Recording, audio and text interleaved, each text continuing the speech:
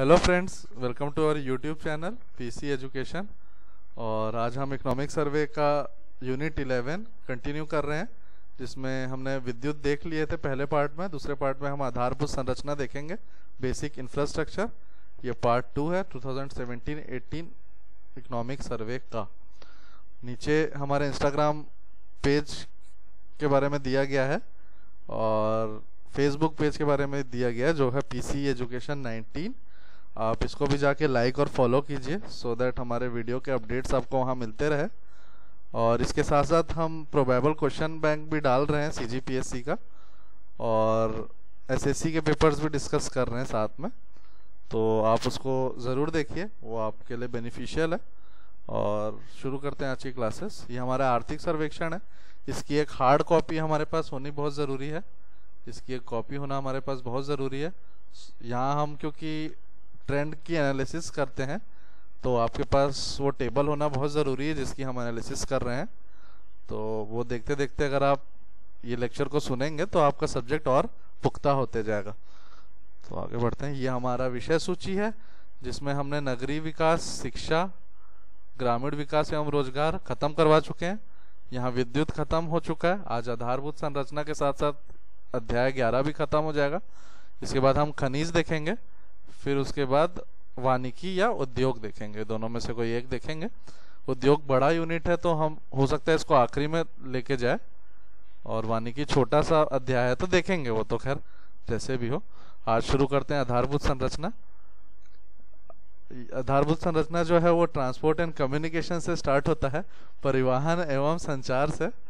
और इसमें जो पहला पॉइंट दिया हुआ है, इसमें परिवहन को जीएसडीपी सकल राज्य घरेलू उत्पाद या ग्रॉस स्टेट डोमेस्टिक प्रोडक्ट से कंपेयर किया है और पहले जो कॉलम जो बनाया है, पहला जो रो है, उसमें वृद्धि प्रतिशत बताया है इंक्रीज रेट बताया है और अगले में जीएसडीपी में सकल राज्य घरेलू उत्पाद में कितना हिस्सा है, इसका परसेंटेज दिया हुआ है। तो हमारे लिए इस टेबल में सबसे ज़्यादा जो महत्वपूर्ण डाटा है, वो है ये। 2.37 दो दशमलव तीन सात का योगदान है प्रतिशत का।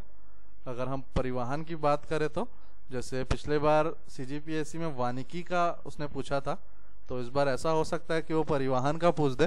तो ये हमको ध्यान रखना है, दो दशमलव तीन सात 2017 और 18 की अगर हम बात करें तो अगर ये 2016-17 पूछता है तो दो दशमलव दो चार। ये दो चीज़ हमको ध्यान रखनी है, और वृद्धि दर दिया हुआ है तो वृद्धि दर भी ऐसी मोटा मोटी हमको ध्यान में रखना है। वृद्धि दर का जो प्रतिशत है 2017-18 में, वो बारह दशमलव पाँच शून्य। साढ़े बारह या ट्वेल्व पॉइंट फाइव हम बोल सकते हैं। तो इतना वृद्धि दर है, इतना जीएसडीपी में योगदान है। तो सबसे ज़्यादा इंपॉर्टेंट डाटा यही होता है, ये हमको याद रखना ज़रूरी है। इसके बाद हम देख लेते हैं कि कुछ एशियन डेवलपमेंट बैंक इंग्लिश में भी हिंदी में भी हम यही बोलेंगे। एशियन डेवलपमेंट बैंक जो छत्तीसगढ़ रोड स्टेट का जो रोड कंस्ट्रक्शन है, जो सड़क निर्माण होता है छत्तीसगढ़ राज्य में, उसकी कुछ डाटा है, जो एशियन डेवलपमेंट बैंक के सहयोग से हुआ। है? तो ये हमको ध्यान रखना है। तो चौदह सड़क हमारे छत्तीसगढ़ में एशियन डेवलपमेंट बैंक के थ्रू बनाई गई है और जिसका किलोमीटर है आठ सौ छप्पन। आठ सौ छप्पन किलोमीटर की चौदह सड़कें। टोटल जो लेंथ है, लंबाई जो है, कुल लंबाई, वो आठ सौ छप्पन किलोमीटर है एशियन डेवलपमेंट बैंक की हम बात करें तो। ये ये भी डाटा उतना इम्पोर्टेंट नहीं, सिर्फ़ हमको ध्यान रखना है। चौदह सड़क, आठ सौ छप्पन किलोमीटर। इसके बाद लेंथ दिया हुआ है रोड का। ये हमारे स्टैटिक टॉपिक का भी पार्ट है। पूछ सकता है कि कितने किलोमीटर का राष्ट्रीय राजमार्ग है हमारे छत्तीसगढ़ में? तो जो राष्ट्रीय राजमार्ग है, नेशनल हाईवे, वो तीन, दो दो दो किलोमीटर। ये मुख्य बिंदु में भी हम इस डाटा को देखे थे। तीन, दो दो दो। 3222 किलोमीटर का राष्ट्रीय राजमार्ग है हमारे छत्तीसगढ़ में। तो ये हमको ध्यान रखना है। फिर उसके बाद देख लेते हैं, स्टेट हाईवे या राज्य मार्ग राज्य मार्ग ये है 4369 4369 किलोमीटर, चार तीन छः नौ 4369 किलोमीटर का स्ट्रेट हाईवे हमारे छत्तीसगढ़ में। तो ये हमको ध्यान रखना है। इसके बाद है मुख्य जिला मार्ग, जो है डिस्ट्रिक्ट रोड। तो डिस्ट्रिक्ट रोड हमारे छत्तीसगढ़ में one one three three eight.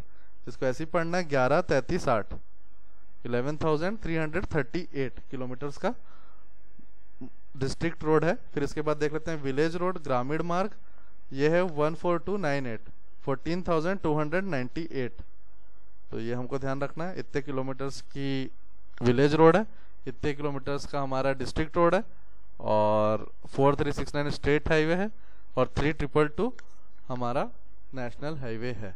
ये हमको ध्यान रखना है। और जीएसडीपी में ट्रांसपोर्ट परिवहन का जो हिस्सा है वो है दो दशमलव तीन सात ये हमको इस पेज में ध्यान रखना है। उसके बाद फिर बहुत सारी चीज़ें दी गई हुई हैं जो हमारे लिए इम्पोर्टेंट नहीं है इकोनॉमिक सर्वे में। तो जो इम्पोर्टेंट पॉइंट है वो हमने उसमें निकाल दिए हैं।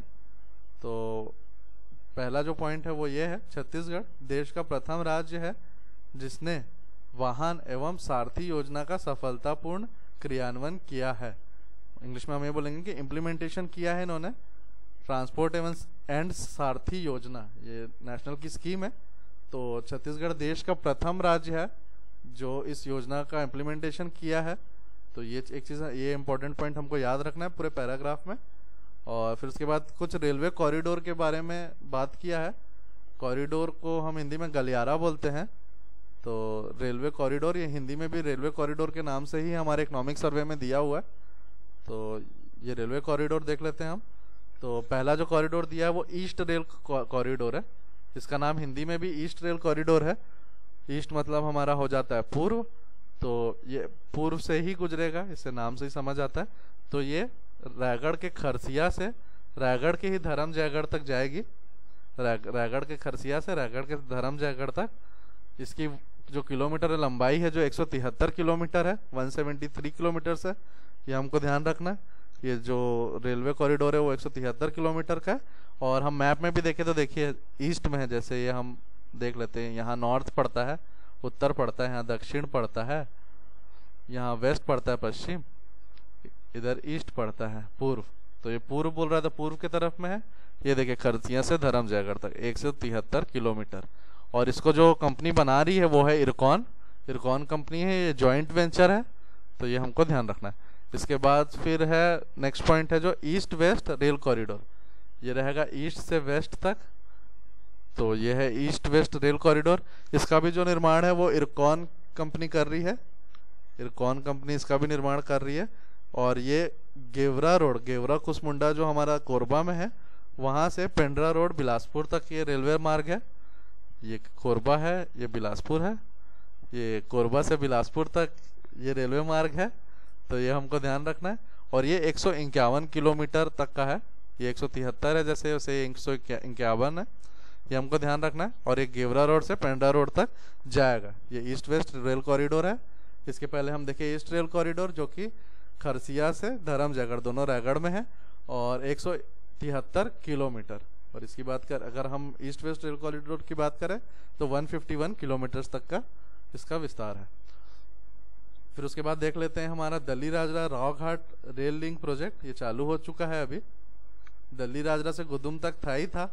अभी एट प्रेजेंट ये चालू हो चुका है। भानु प्रतापपुर से, दल्ली राजरा तक, दुर्ग को भी कनेक्ट करेगा ये। तो ये योजना भी देख लेते हैं, ये प्रोजेक्ट भी देख लेते हैं। रेल लिंक का प्रोजेक्ट है। ये है पंचानवे किलोमीटर का, अगर हम सिर्फ़ दल्ली राजरा से रावघाट की बात करें तो। तो इसका जो पहला फ़ेज़ था वो दल्ली राजरा से गुदुम तक था, सत्रह किलोमीटर का, जो कि खत्म बन चुका है। और भानु प्रतापपुर भी आएगा इस लाइन में, ये भी चालू हो चुकी है अभी लाइन एट प्रेजेंट तो हम मैप में देख लेते हैं। ये हमारा दल्ली राजरा है बालोर डिस्ट्रिक्ट में। ये दल्ली राजरा से रावघाट, जो कि कांकेर डिस्ट्रिक्ट में है, वहाँ तक जाएगा ये। पंचानवे किलोमीटर का रास्ता तय करके यहाँ तक पहुँचेगा। बीच में भानु प्रतापपुर पड़ता है। तो ये हमको ध्यान रखना है कि भानु प्रतापपुर भी Dalli Raja Rowghat rail link project के अंदर ही आएगा। और यही जो प्रोजेक्ट है, वो और एक्सटेंड हो रहा है। रावघाट से जो है जगदलपुर तक जाएगा ये, बस्तर के जगदलपुर तक, जिला मुख्यालय है। और ये 140 किलोमीटर का रास्ता तय करके बस्तर तक पहुंचेगा। और इसका जो है निर्माण, वो एनएमडीसी, सेल, इरकॉन और बस्तर रेलवे प्राइवेट लिमिटेड, चार कंपनी है जो मिल के बनाएगी इसका इसका निर्माण चार कंपनियों के द्वारा किया जा रहा है। तो ये हमको ध्यान रखना है। दिल्ली राजरा से रावघाट पंचानवे किलोमीटर, रावघाट से बस्तर 140 किलोमीटर। तो ये दो किलोमीटर हमको याद रखना है। कहाँ से कहाँ तक वो याद रखना है। और इसके पीछे अगर हम जाए तो दो कॉरिडोर और डिस्कस किए हम। एक है ईस्ट रेल कॉरिडोर और एक एक ईस्ट वेस्ट रेल कॉरिडोर ये चारों हमको याद रखना है किलोमीटर सहित, ताकि मैचिंग में जैसे वो पूछ देता है, सुमेलित करने के लिए पूछ देगा तो वहाँ भी हमसे लग जाए क्वेश्चन फिर उसके बाद एक एक्स्ट्रा जानकारी दी हुई है। उसने डाटा दिया है 9 फरवरी 2016 का। 9 जनवरी जो दो 9 फरवरी 2016 है, उसमें जो छत्तीसगढ़ रेल कॉरपोरेशन लिमिटेड का स्थापना की गई है छत्तीसगढ़ में छत्तीसगढ़ रेलवे कॉरपोरेशन लिमिटेड नाम है इसका, जिसमें जो इक्यावन परसेंट जो शेयर है, वो रहेगा स्टेट गवर्नमेंट का, छत्तीसगढ़ गवर्नमेंट का, और गवर्नमेंट ऑफ़ इंडिया, भारत सरकार और रेल मंत्रालय। उसका 49 परसेंट हिस्सा रहेगा। ये दोनों के बीच में एमओयू साइन हुआ है, और उसी एमओयू से छत्तीसगढ़ रेलवे कॉरपोरेशन लिमिटेड का निर्माण किया गया है 9 फरवरी 2016 को। 9 फरवरी को याद रखना है हमको।